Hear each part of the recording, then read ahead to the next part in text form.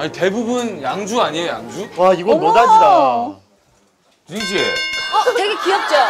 저 소주를 저렇게 예쁘게 진열한 또 진열장 처음 봐요. 어, 되게 한국적이고 좋지 않아요? 좋아요, 근데. 네, 그쵸. 어. 근데 미니어처는 안 팔아요, 시중에. 네. 그 어디서 구하는 거예요? 선물 받았어요? 아. 요, 요, 요 소주 브랜드에서. 예, 예. 브랜드에서. 어, 이거 누가 아무나 선물해줘요? 아, 아무나는 안 해주죠. 전화해서 달라고 하시. 저니까. 어 매력 있어. 진짜. 그럼 이제 이 나무는 무슨 나무입니까? 좀 소개해 주세요. 어, 이 나무는요, 네. 돈나무예요. 근데 이 나무가 막 입이 막 이렇게 막 지금 많이 막 뻗고 있어요. 돈나무. 네. 그래서 이 나무가 자라기 시작하면서 행사가 엄청나게 많으시는 거예요. 오. 근데- 나무 이름이 돈나무예요, 진짜? 돈나무예요. 안 써지네 금전수라고. 네. 어, 진짜. 올 초부터 시작해서 점점 잘 자라더라고요. 같이 진영 씨랑. 네. 많이 생각해 그래서 어느 정도냐면 제가 엊그저께 행사하다가 코피 났어요. 너무 일이 많이 많아서. 네. 몇 개 해요, 보통? 그러니까 많이 그날 하는 날은? 그날 다섯 개 정도 하고 있을 때 얘는 아니, 그래도 그런지. 자주 닦아주나 봐요. 예, 예, 얘는 되게 합니다. 반질반질한데. 그죠, 예, 예. 어디다 사줬어요? 어디다 사줬어요? 이거 꽃집에서 그녀 오기야 키우고 있어요. 그렇구나. 자, 그럼 이제 저희도 부엌 한번 볼까요? 네. 볼게요. 최근에 이 약간 리뉴얼을, 리뉴얼을 해서 집이 좀 깔끔해진 상태죠? 그러니까 야, 밑에 즙 봐, 즙. 야, 밑에 즙 봐, 즙. 집, 아, 뭐, 집 인생이네요, 집 인생. 어. 그러니까 뭐야? 너 정말 짠하는 인생이구나. 요 밑에 보다 봅시다. 자, 보자, 한번 봅시다, 하나씩. 양파즙. 예, 이제 이게 혈액 순환이 좋다나. 양파즙, 형님. 아, 양파. 그 양파도 빨간 양파를 드셔야 돼요. 아, 진짜? 아셨어요? 노란 양파보다 빨간 양파가 효과가 효능이 훨씬 더 많아요. 그런 거보다. 몇십 배.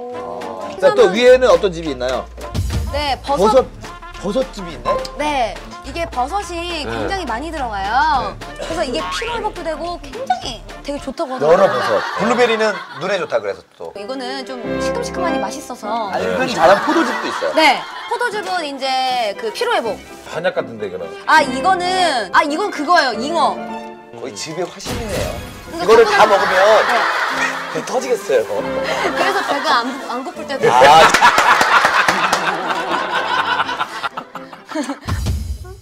전형적으로 이제 육류를 좋아하잖아, 형님아.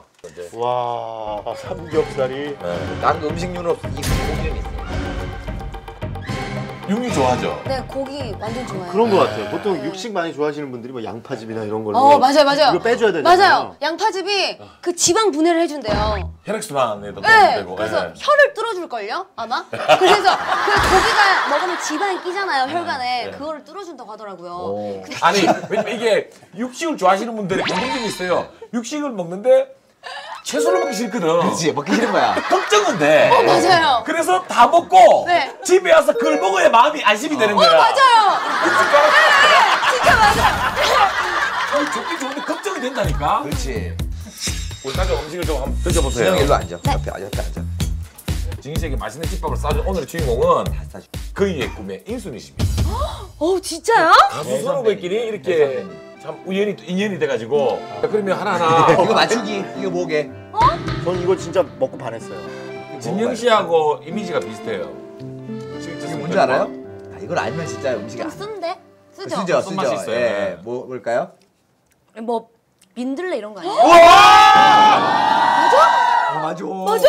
그리고 어, 나 소름 끼쳤어. 진짜요? 소름 끼쳤어, 소름 끼쳤어, 소름 끼쳤어. 깜짝 놀랐네. 저 닭고기 좋아하는구나. 어, 나 소름 끼쳤어. 어, 진짜? 야 근데 절대 미식. 미식. 미식. 절대 미가 아니, 아니야. 속이 미식미식해? 깜짝 놀랐어요. 지금 나 민들레가 입에서 나와서. 야 대단하다 이거. 아, 진짜 저도 깜짝 놀랐어요. 특허에서 되겠는데요? 어, 이거 제 스타일이에요. 네. 아 묵은지. 묵은지. 그냥 묵은지. 이거야. 아, 맛있다, 이거. 음. 음. 음. 음, good.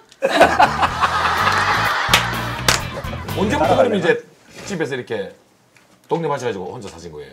어, 저는 스무 살 때부터요. 스무 살 후반부터. 그럼 최근에 이제 활동을 하면서 바, 바쁘게 지내면서 언제가 또 제일 집밥이 그리워요? 어, 아무래도 새벽에 서울 떨어질 때? 그러니까 하루 종일 차에 있을 때. 행사 끝나고. 예, 하루에 뭐 1000km 넘게 뛸 때, 뭐 이때 아니 아까 저기 침실 이렇게 들어가는 동선이나 이렇게 보면은 정말 피곤해.